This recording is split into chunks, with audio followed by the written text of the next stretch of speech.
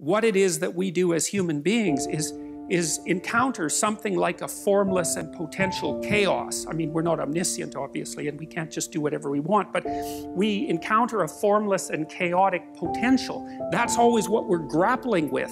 And somehow we use our consciousness to give that form.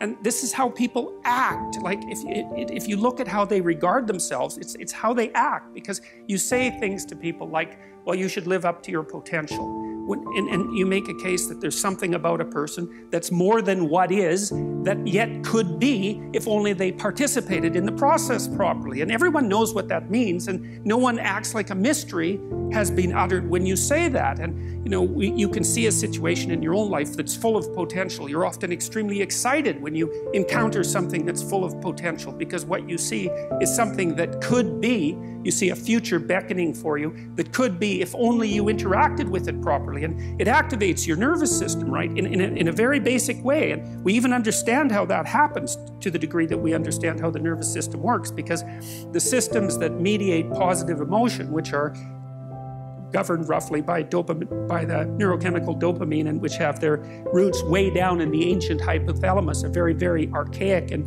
and fundamental part of the brain.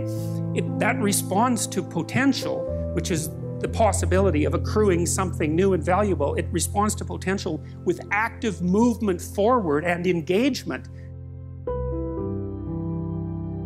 It's the, it's the notion that there's something in all of us that transcends all of us, that's deeply structural, that's part of this ancient, well, I would say evolutionary and cultural process that enables us to grapple with the formless potential and bring forth reality, roughly speaking. And then there's the final element, and that element seems to be something like consciousness itself, the consciousness that actually inheres in the individual. So it's not only that you have a structure, it's that the structure has the capacity for action in the world. And it's like it's, it's you're, the, you're the spirit that gives the dead structure life.